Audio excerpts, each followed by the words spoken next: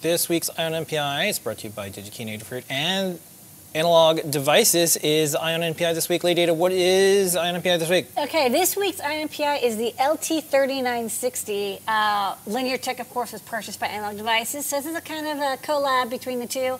Uh, but since it's uh, now owned by Analog Devices, they get the credit.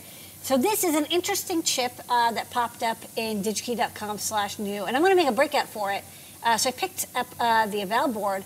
Um, what's neat about this chip is it is a chip that converts I squared C into uh, a CAN bus physical layer for transport. What that means is, um, as you see here on the left, you have a, uh microcontroller and it's an I squared C controller or master. And you want to connect to a sensor or a device that's controllable over I squared C, uh, I squared C peripheral. And you know, normally I squared C is meant to be like inter-circuit. That's what the I2 stands for, inter, or yeah, inter-circuit communication. And it's meant to be on like a single circuit board. Um, however, nowadays there's so many sensors and devices that might be remote. You might have a temperature sensor, a humidity sensor, or a magnetic sensor, something in your robot or your automation. And you might want it a little bit farther or um, connected by wires that are longer than a, a few inches or maybe even longer than a meter. Or perhaps you have a lot of EMI because it's in a robot or something, there's motors everywhere. And I squared C is a single-ended um, physical protocol. You have a ground, you have a clock line, and a data line. It's non-differential. It's designed to be simple because, again, it's meant to be in a circuit. But, you know, we're engineers. We like to push the limits. So what if you want to have your I squared C peripherals far away? Well, that's where this chip comes in. Um, so sometimes, or normally, what you would do is you'd get a separate microcontroller and have that be on a CAN bus, and then it reads the sensor data and transfers it over CAN bus messages. You have this a CAN bus to I squared C conversion. This doesn't turn your I squared C device into a CAN bus device, but what it does do is basically transmit the clock and data as if it was like CAN bus physical compatible, which allows it to go very far distances. Um, so if you look inside, there's no microcontroller. It's really just like a logic level differential signaling system. It's just designed very, very well. Um, so this is the block diagram for uh, one side, and each side can either be a controller or a peripheral. You can configure it either way.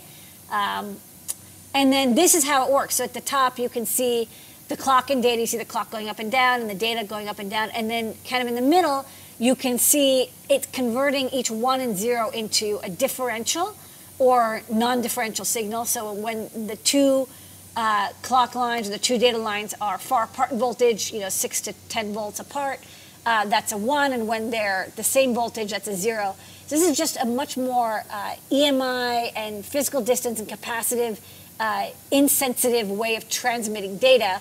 Again, you can't share this on a CAN bus, but you can share multiple I squared C devices on this bus using this uh, transceiver. Uh, so here's an example of a multi-drop. So um, you know, on the other side of this, you'd have the controller, but you can have multiple I squared C peripherals either on one transceiver converter or multiple transceiver converters uh, on your, as you can see, terminated, the 120 ohm is the, the terminated uh, CAN bus physical uh, interface. They call it I2 CAN bus, whatever, I2 CAN.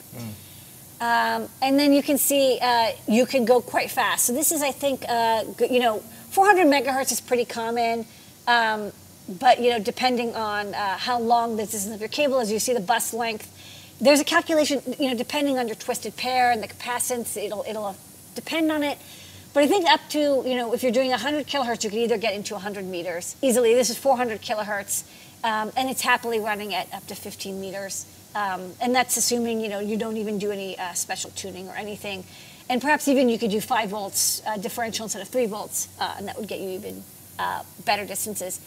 So there's um, an eval board that's available. I'll say that at the time of this viewing, filming, the chip itself is an NPI. It's not in stock, but sign up and get notified. Um, there's an eval board, and I also got a separate eval board that is uh, two like endpoints that you can connect together. This one has a, uh lighting controller, so you can use this to kind of test uh, the cabling and distance. And then they have um, some Arduino code and Arduino library as well. So I thought this would be really good for is if you have, you know, a sensor network, um, like you're doing agriculture or you're doing robotics, and you have your sensors spread out over a building or a very large machine.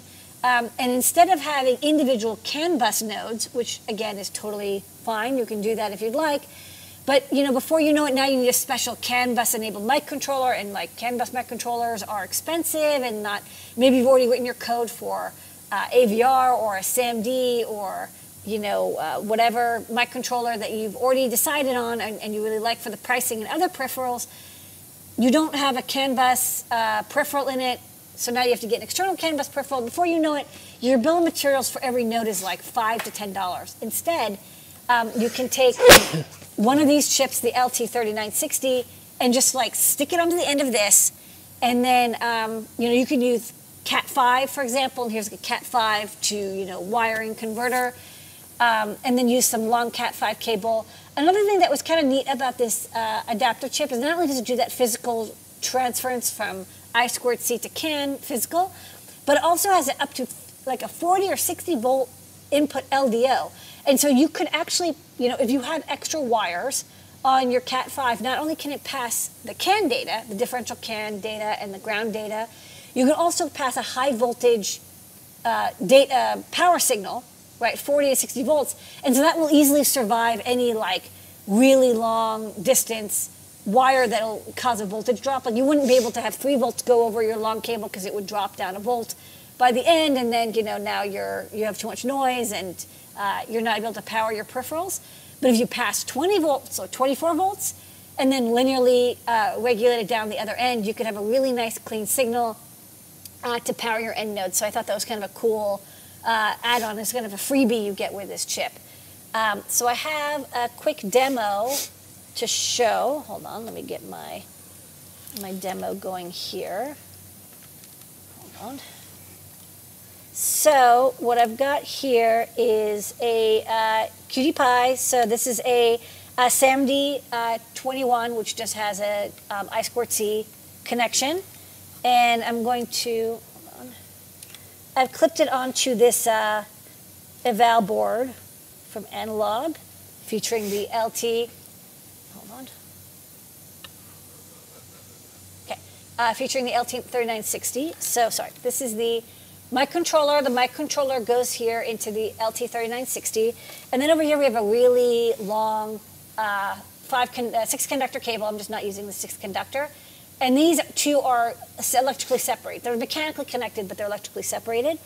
And over here we've got an OLED screen, and then uh, risky to do this live demo, but I think I can. I can pull Super risky. Super risky. Uh, I'm going to just power, this isn't data, this is just a, a powering it from a, a, LiPo battery over here. Just because it, the power I'm not passing through the cable. And then I reset this circuit and voila! The microcontroller is sending I squared C data at 400 kilohertz over this cable through this long cable, which believe me, you cannot do I squared C 400 kilohertz over this long ass cable to the other uh, transceiver, which is uh, peripheral, to the OLED display. So you can do very long distance I squared C.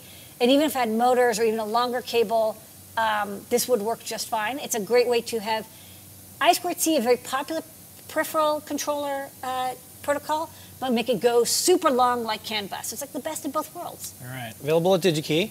And we have the information here for you. You can look at the part number or the short URL and LT 3960. And that is this week's on NPI. Eye on NPI.